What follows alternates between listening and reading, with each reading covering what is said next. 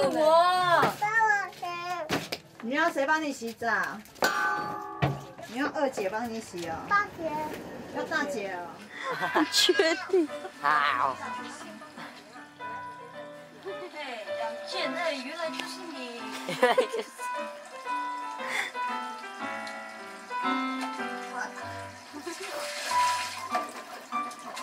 你好，好。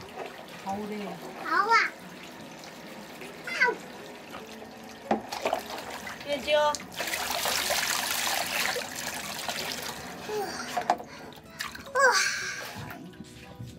我放冷水哦。倒水。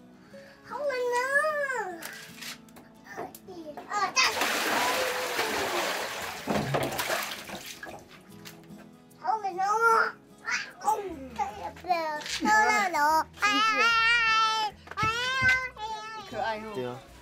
超皮的，你还不相信以前超皮的？你觉得我们辛苦哦？对啊。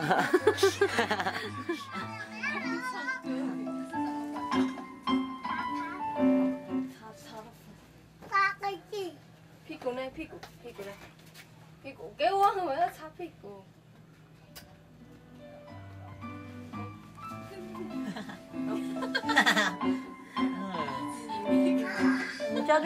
欢乐啊，就是有时候就会自己互相就兄弟姐妹聚在一起，然后互相调侃说，嗯，以前以前怎样多苦啊什么的这样，然后就会拿出来笑一笑。嗯，你再这么苦，你还是要过日子啊，明天还是会来啊，那你干嘛要那么伤心那么难过？好笑。你以前怎样？可爱哦。对啊。岁月不饶人。对。天哪！变很多。天哪！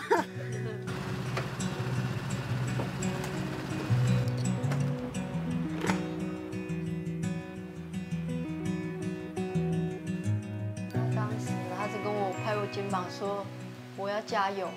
”这这一种撼动我，因为那时候妈妈倒下，然后他是会觉得我很辛苦。他每次过来的时候，他就会给我们一些勉励，然后让就等等于是他来帮我们充电吧，才有那个力力量这样。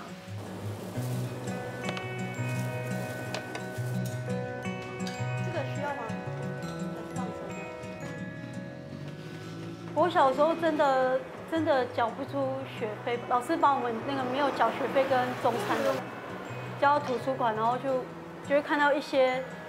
跟我们差不多状况的那个家庭的小孩，就坐在那边你看我看，然后等中餐时间过，就感觉很可怜啊，因为没得吃啊。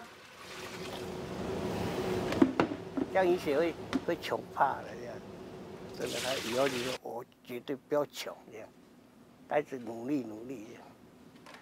哇，没有钱很苦呢，连借都要借借钱过活这样。在这样的家庭里面生活，我们就。不会去想说要来怨怨说啊，为什么我们家境这样？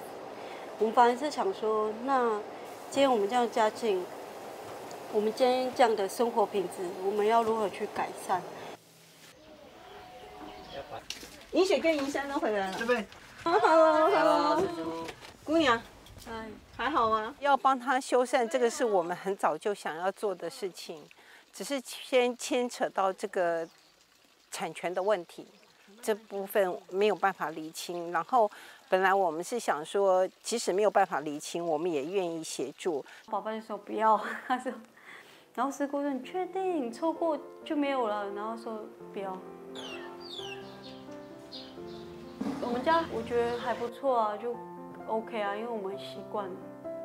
我觉得我们自己有能力就自己自己盖起来，实际又把。需要的钱帮给真正需要的人。我们就是看着他背影长大啊，所以我们知道他他的认为就是这样子啊。陈先，这个是三三个月的。嗯，然后那个竹筒的上次是六百六十六，在这边。在他开始缴功德款的时候，我想他的经济并不是太富裕，可是。从他手里面拿过，就是用福慧珍珠装的铜板，其实我觉得那份的心意，比什么都还要厚重。我的心意啊，能做多少就多少。